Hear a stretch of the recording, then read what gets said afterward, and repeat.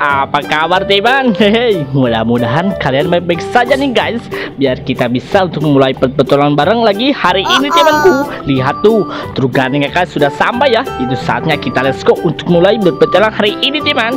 Tapi sebelum kita mulai berpetualang, alangkah baiknya kita let's go buka dulu teman-teman pintu truk gandeng kakak ya. Biar kita lebih mudah untuk masukkan hewan-hewannya teman-teman. Hehe, kakak sudah siapin tiga truk kakak teman untuk kita isi dengan hewan-hewan yang sangat cantik dan juga unik ya. Oke teman, kita let's go dari bu membuka pintu yang berwarna apa ya? Hmm, ada tiga pintu rumah berwarna-warni, berwarna hijau, berwarna pink dan juga berwarna biru. Widih, lebih baik kita coba buka dari pintu yang berwarna hijau terlebih dahulu teman. Kira-kira hewan apa ya yang akan dapatkan teman? Hmm, ayo kita coba buka teman. Hmm, coba kalian tebak kira-kira hewan apa ya? Nanti kalau kalian ketebak, kakak kasih hadiah teman. Let's go. Kita buka temanku. Widih, di dalam sangat gelap sekali ya guys. Hmm, mudah-mudahan tidak terdapat hewan yang berbahaya teman-teman. Lebih baik kita coba cek ke dalam teman. Wih, ada tuh guys, hewannya lihat teman. Wadidaw, ternyata ini adalah seekor kura-kura. Wih, guys, lihat kura-kura ini dia begitu sangat mungil sekali ya. Hmm, lebih baik kita tangkap. Wow, kita dapat teman. Kura-kura ini adalah seekor hewan yang memiliki tempurung sangat keras teman. Tempurungnya itu adalah keras seperti batu nih guys. Wadidaw, dia berkaki empat. Kalau gak salah ini namanya adalah jenis kura-kura Brazil teman. Widih, sangat langka sekali nih guys. Cocok untuk kita rawat dan kita pelihara teman. Hari ini kita gak sia-sia ya. Baru saja dimulai berpetualang sudah mendapatkan seekor kura-kura Brazil teman. Wadidaw, cocok untuk kita rawat teman. Lihat, dia adalah jenis hewan air ya. Mantul-mantul. Ayo guys, kita lanjutkan lagi ya. Hmm, karena masih ada pintu lagi yang belum kita buka teman. Ada pintu yang berwarna pink di istana yang berwarna merah. Widih, he, kebalik teman. Maksud kakak istana berwarna pink, pintu berwarna merah ya. Maafin kakak nih guys. Widih, ayo guys, kita coba buka teman. Apakah ada suatu hewan di dalamnya? Hmm, one, two, three, four. Wadidaw, pintar teman. Hmm, akankah ada hewan di dalamnya? Lebih baik kita cek terlebih dahulu teman-teman tuh. Ternyata ada guys. Hewan apa ya? Hmm, hewan berwarna hitam. Dia seperti ini apa? Seperti tikus teman. Wadidaw, apakah benar tembakan kakak itu adalah seekor tikus? Ayo, lebih baik kita buktikan dan kita tangkap terlebih dahulu teman-teman. Hmm, kakak dapat nih guys. Wow, ternyata ini bukan tikus teman, melainkan ini adalah seekor marmut. Wih, sehewan yang pemakan rumput. Wadidaw, mantul-mantul. Dia berwarna hitam guys. Hmm, nampaknya seekor marmut ini dia adalah jenis betina teman.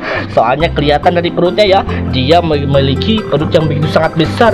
Nampaknya dia sedang mengandung teman-temanku. Wadidaw, mantul. Jadi kakak harus benar-benar ya untuk merawat seekor marmut ini teman. Soalnya dia mau mengandung melahirkan seekor anak. Wadidaw, cocok sekali untuk kita rawat teman. Nanti kita ternak marmut yang lebih banyak ya. Oke, kita lanjutkan lagi di sebelah sini teman tuh. Bentar guys, lihat kakak menemukan terdapat istana yang begitu sangat besar sekali teman. Ada pintu berwarna biru, berwarna merah, juga berwarna biru lagi nih guys. Hmm, oke, kita coba buka teman. Tuh, tuh, tuh, tuh, tuh. Lihat, teman, ada pintu yang bergerak-gerak sendiri temanku. Nampaknya seekor hewan di dalam sudah gak sabar teman untuk mau keluar. Hmm, nampaknya seekor hewan ini susah keluar karena tertutupi oleh batu yang sangat besar sekali teman. Ha, sangat kasihan ya. Oke kita selamatin teman. Seekor hewan di dalamnya mudah-mudahan dia bisa keluar dengan begitu sangat nyaman ya. Oke kita bongkar teman-temanku let's go. Wadidaw. Guys ternyata yang keluar seekor itik lagi teman. Itik ini berwarna hitam. Wih mantul.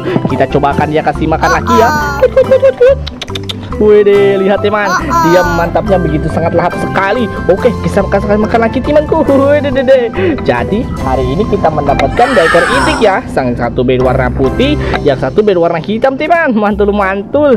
Seekor itik yang sama ukurannya temanku. Nampaknya dia bersaudara nih guys. Coba kalian lihat teman tuh. Oh deh, mantul mantul sekali teman-teman. Sangat cocok sekali ya. Dua ekor itik ini kita pelihara teman. Jodoh tahu kakak yang berwarna hitam ini adalah jantannya, yang berwarna putih adalah betinanya teman jadi kita mendapatkan satu jodoh seekor ikan itik ya temanku hmm cocok teman nanti kalau sudah besar dia bisa bertelur nih guys. Dan telurnya boleh kita pasak dan kita jual teman hehe dia malah minum temanku lihat tuh. Wadidaw. Mantul-mantul. Oke saatnya kita let's go lagi teman jangan banyak basa-basi ya karena masih banyak pintu yang belum buka-buka hari ini teman tuh. Lihat ada dua pintu kembar berwarna merah dan juga berwarna kuning. Wadidaw. Kira-kira hewan apa lagi yang beda dalamnya teman ayo kita coba buka satu dua tiga. Wow guys seekor burung teman lihat ha? tapi kakak belum tahu ya ini burung apa teman kita kasih makan tuh. Hmm ternyata ini kakak tahu nih guys. Ini adalah jenis burung yang sangat aneh teman kenapa disebut aneh? Karena ini ada jenis burung puyuh. Seekor burung yang tidak bisa terbang. Wededede. tapi dia malah berkelahi teman-teman kulihat tuh. Nampaknya dia perebutan makanannya kakak sih ya. Hmm mantul-mantul. Hei kamu jangan berkelahi nih wadidaw lihat teman seekor burung puyuh ini dia memiliki bulu yang begitu sangat lebat dan juga lucu lucu temanku. Wah ada jadi kakak sangat mantu jadi kakak sangat suka sekali untuk merawatnya teman-teman. Hmm, jadi semangat temanku. Wah ada oke kita saatnya masukin ya dua ekor burung puyuh ini ke dalam truk kakak teman. Let's go. Kita masukin. Wah tangan kakak cuma ada satu teman-teman.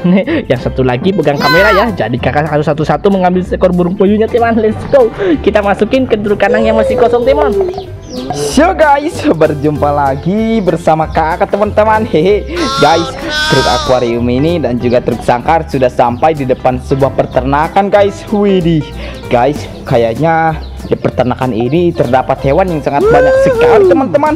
Jadi sekarang kakak mau mencari hewan yang ada di sini. Nanti kita pelihara di rumah kakak ya Wih wih wih Kakak melihat sebuah kolam ikan guys tuh. Wadidaw wadidaw Ini kenapa guys? Wow.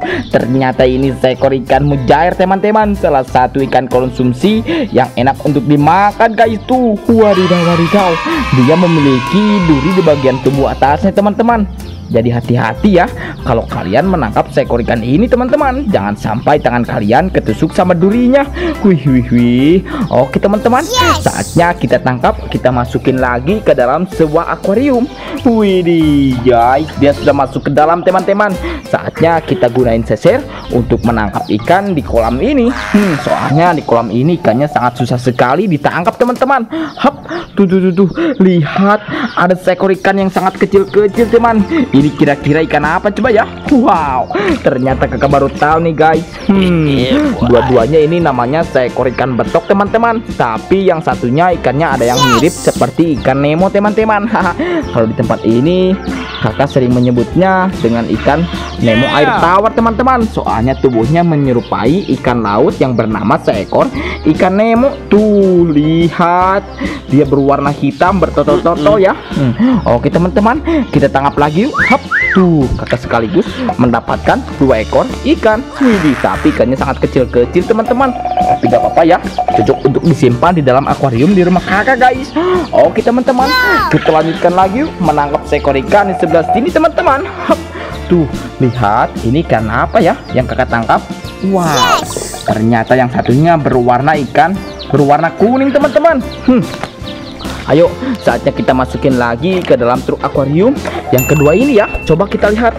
Wih, ternyata ikan yang berwarna kuning ini namanya seekor ikan red devil. Hmm, salah satu ikan invasif. Dia suka memakan anak ikan alias seekor ikan ini termasuk seekor ikan predator ya teman-teman. Meskipun ikan ini sangat cantik, tapi ikan ini termasuk seekor ikan predator sangat mengerikan sekali teman-teman.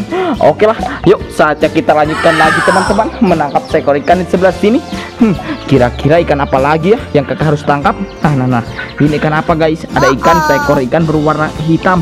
Wow, ternyata ini seekor ikan layang-layang. Hehe, bercanda teman-teman. Ini namanya seekor ikan sapu-sapu teman. Tuh. Wih, wih, wih. Dia memiliki mulut di bagian bawah kepala guys. Sedikit aneh ya. Tuh ikan ini berfungsinya untuk membersihkan hmm, kotoran yang ada di kaca guys. Jadi seekor ikan ini sering digunakan hmm, dan kita masukin ke dalam sebuah akuarium teman-teman. Soalnya ikan ini suka bersih-bersih teman-teman. Bercanda ya guys.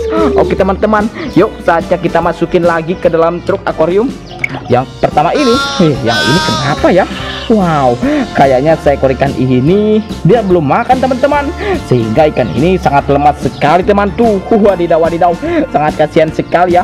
Oke lah teman-teman,